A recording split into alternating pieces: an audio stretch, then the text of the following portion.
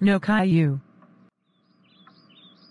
Yes Caillou, you know he is my favorite student, that's it, you are grounded for two weeks, now stay in your bedroom.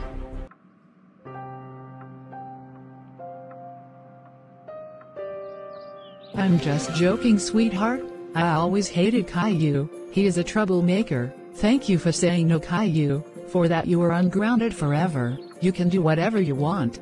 Oh mom, you got me. Yeah, I did.